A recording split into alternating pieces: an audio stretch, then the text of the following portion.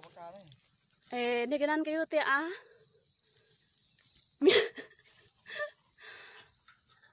Aneh tapi nyata kan?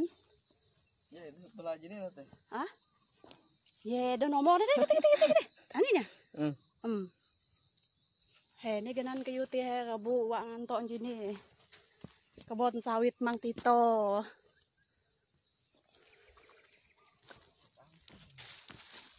Apakah ti jenis tombal atau weekend weh? Masa? Masa tombal munti?